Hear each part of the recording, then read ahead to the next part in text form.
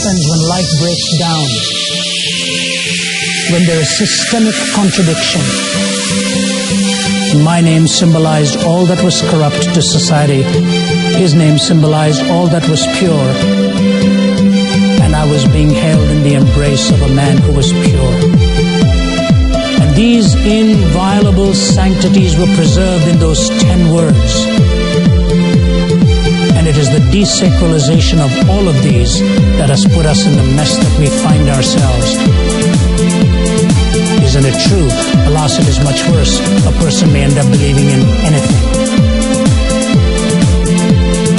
You know, if that human acceptance does so much for you and me, think of what it is when God Himself puts His arms around you and says, Welcome home. What love is this? It is God's Shit.